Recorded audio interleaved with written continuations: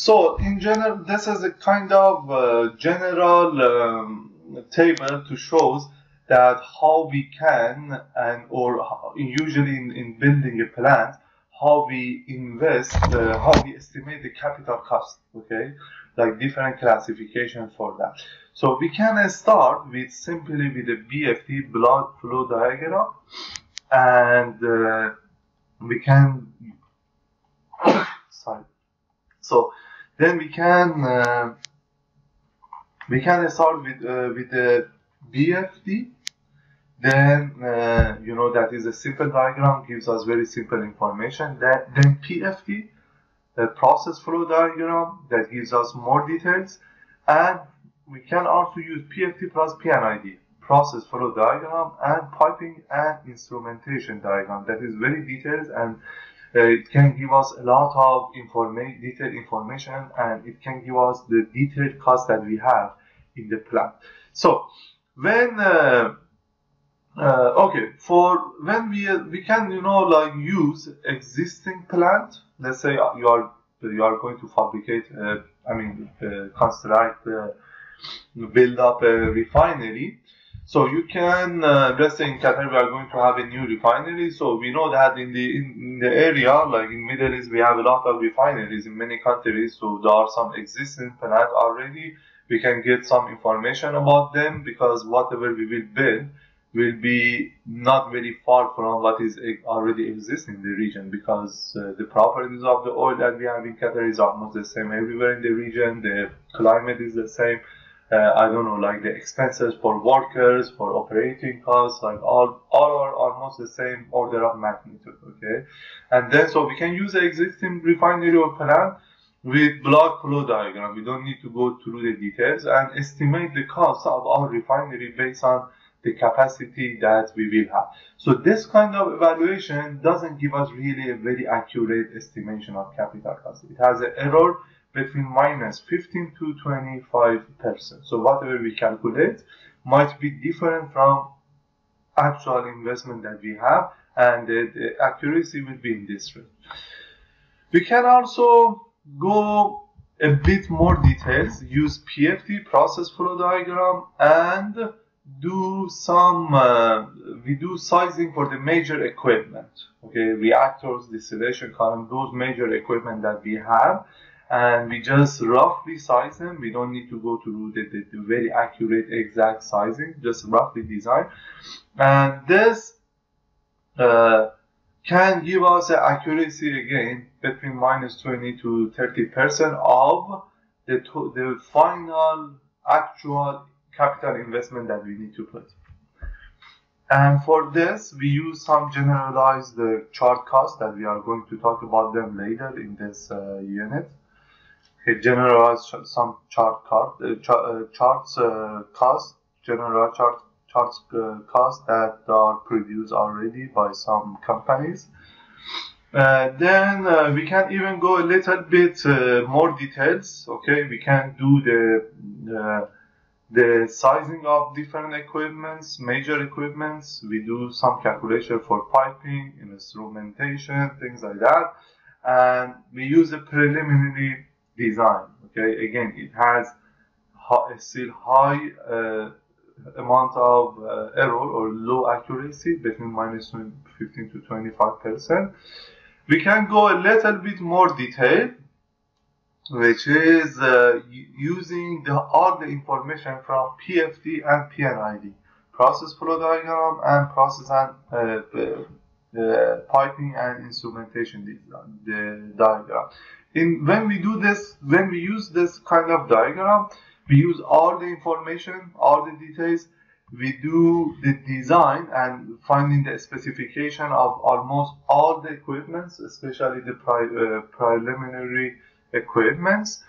And when we do this kind of calculation we will be really close we will be very close to the uh, to the actual investment that we need to put.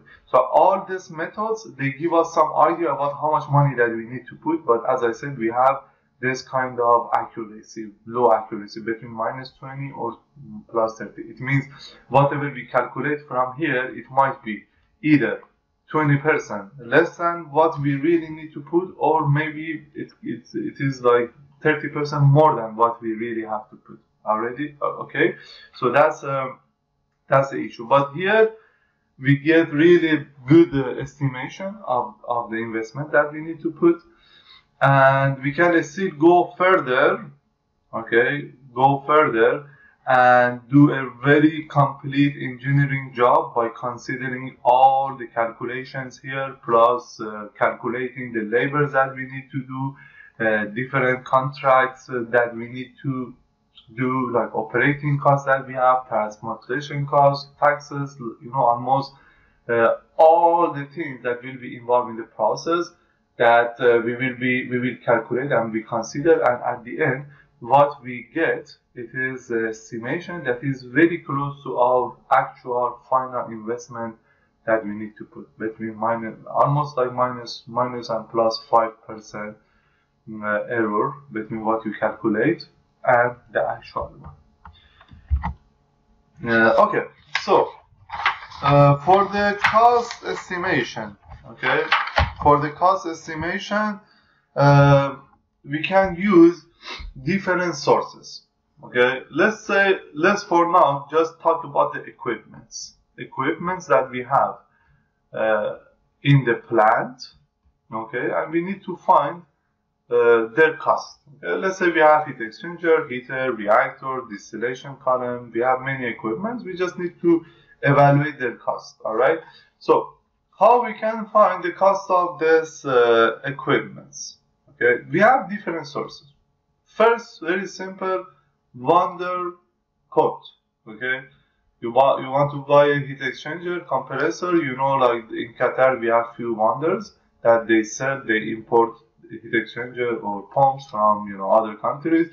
You just call them and you tell them I need this compressor, I need this heat exchanger with this specification, and uh, uh, and uh, how I mean like please uh, please give me a quote how much does it cost so like what they do they go uh, look at the companies the suppliers they have they find you a list of uh, companies that they can you know produce this they can provide it for you and then they give you a very accurate price of that equipment the updated price. The price for that you know like up to that day.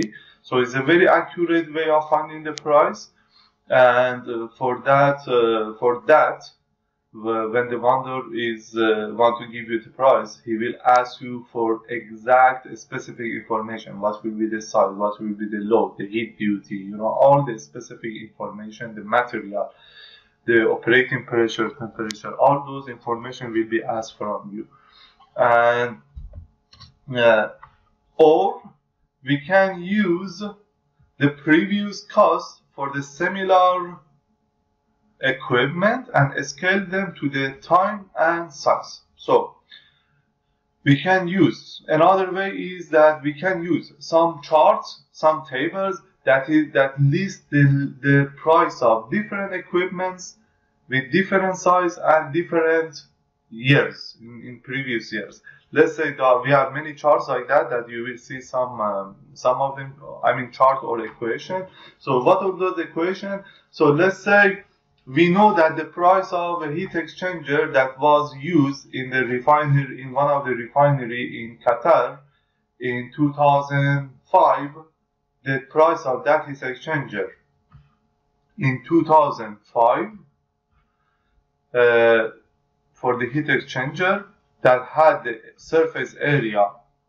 Surface area, you know, is one of the most important parameters in the design of heat exchanger. The surface area in 2005, for the surface area of 100 uh, square meter, the price was uh, the price was let's say uh, I don't know um, let's say 10,000 $10,000 okay now that we are in 2020, and if I want a heat exchanger that has 200 square meter area, what will be the price? There are equations, there are some factors that relates this to this information to each other. There are some equations that we can use and we can say that okay, if, if in 2005 the price was this, in 2020 we will we just need to multiply that number by by a factor by indicator. Those indicators are available in the internet. There are companies that they do it, and you just easily calculate the price of that equipment. So this method that we will see in the next slide is kind of uh, is reasonable, accurate. Is not like vendor quote, but it still is a very good estimation.